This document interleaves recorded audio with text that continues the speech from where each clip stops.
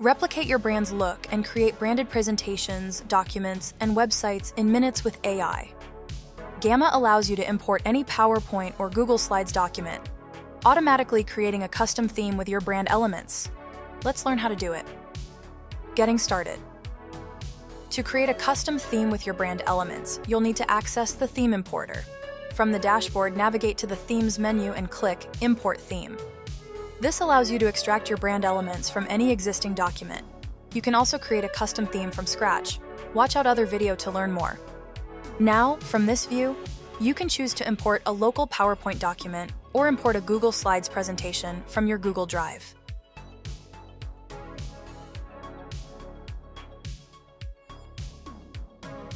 After importing your file, wait a few seconds while Gamma extracts your brand elements.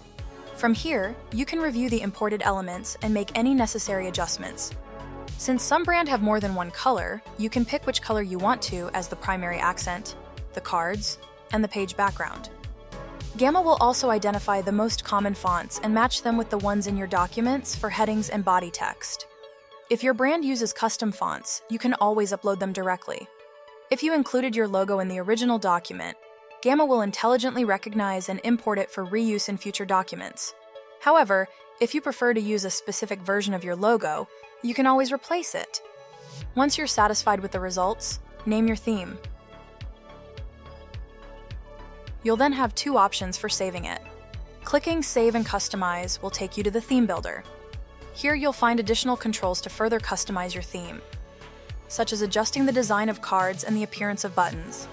For more details on this feature, check out our other video. If you want to save your theme and use it right away, click on Save and Finish. You'll find your custom theme in the Themes menu, where you can edit it whenever needed. Using your imported theme. Once your theme is created, you can use it to create new gammas or apply it to existing ones.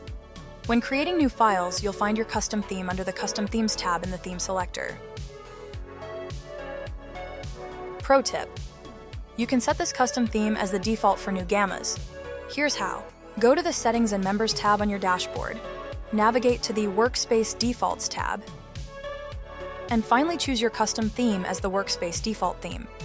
From now on, all new gammas will automatically use this theme, simplifying the process of creating on-brand documents. To apply your custom theme to an existing gamma, simply click on the Theme button and select it from the dedicated tab. And there you have it! This feature allows you to bring your brand elements to life in seconds and use them to create stunning presentations, documents, and websites with AI. You'll save time and won't need to worry about design details. Try it today at gamma.app and experience a new way to present your ideas, powered by AI. Subscribe to our YouTube channel for more Gamma tutorials.